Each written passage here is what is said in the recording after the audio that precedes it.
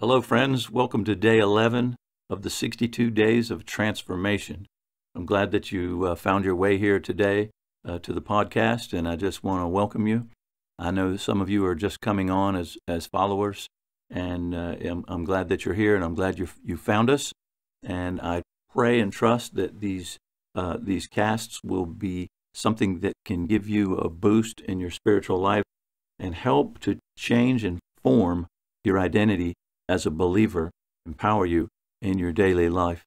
This is day 11, our affirmational truth.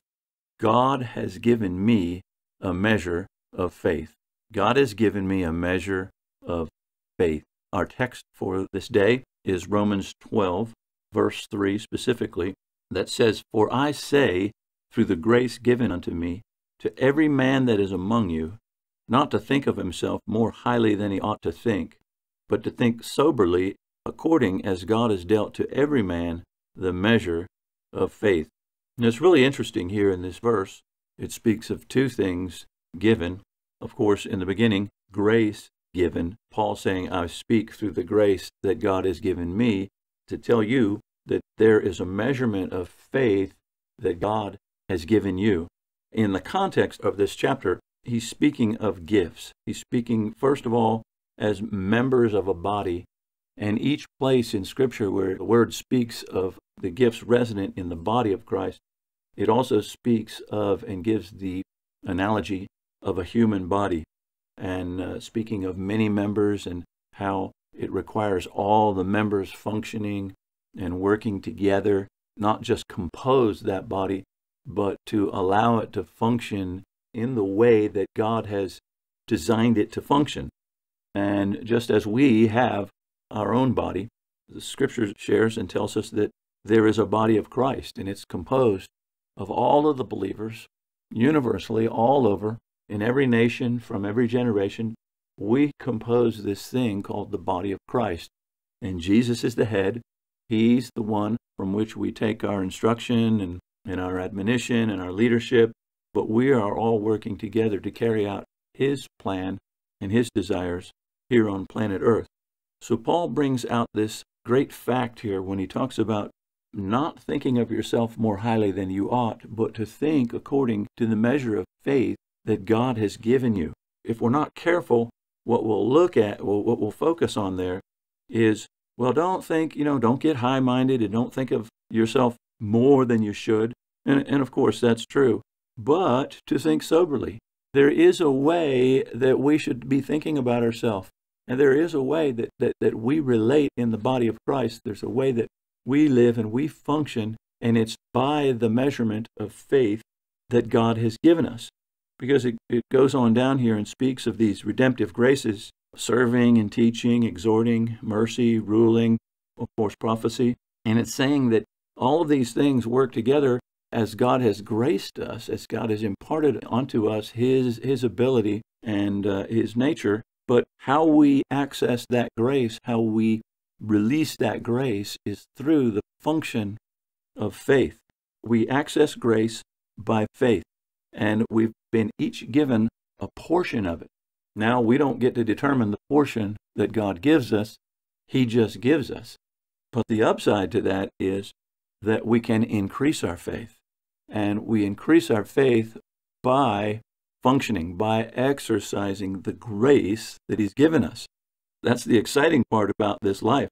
Verse 6, it says, Having then grace differing according to the great gifts, differing according to the grace that's given to us, whether prophecy, let us prophesy according to the proportion of faith. The gift or grace that we have as that part of the body, what we do is we carry it out and we function in it by faith according to the measurement of the faith that God has given us. And we can also see something that we can use here when we talk about increasing our faith in Luke 17, verse 5. The apostle said unto the Lord, Increase our faith. And the Lord said, in his response, If you had faith as a grain of mustard seed, you might say unto this sycamore tree, Be thou plucked up by the root, and be thou planted in the sea, and it should obey you. Point I wanted to focus on right there was that we can increase our faith by exercising it. And Jesus shared this truth when he said, If you had faith, you would say. If you had faith, you would do something. If you had faith, you would act. So, this proportion of faith that God has given us is for the purpose of exercising the specific graces that we've been endowed in this life. And another way we can increase our faith is by hearing the Word of God. People ask all the time, why are you always uh, reading the Bible? Why are, you, why are you always studying the Word? Well, Romans 10 17 says, faith comes by hearing, and hearing by the Word of God. So faith in the Word of God comes by hearing the Word of God. Faith in anything. Uh, if, if you listen to, if you hear something enough or hear something repetitiously over and over and over again, sooner or later you're going to believe. Faith is not just positive. There are things that we hear all the time that cause us to believe in something. And of course, this application is about the Word of God. If you want faith in what God has said, you listen to it, you hear it, you expose yourself to it, and faith rises in your heart, and you believe, and then from that, you act. But a lot of us are hearing things. You know, we're hearing things throughout the day. Not all of them are good. Some of them are, you know, from, from somebody's attitude. Some of them are expectations that other people have put on us, or we're hearing a narrative. If you're listening too much to the news and wondering why you have so much anxiety in life, there's a reason why. What you're exposing yourself to through those voices, through that sound, is actually having a physiological effect on you. So, of course, today we're going to focus on God's Word and what happens there. But this measurement of faith, I want to encourage you, first of all, discover the grace that God's given you, access it by faith. You just begin to exercise it, you begin to do it.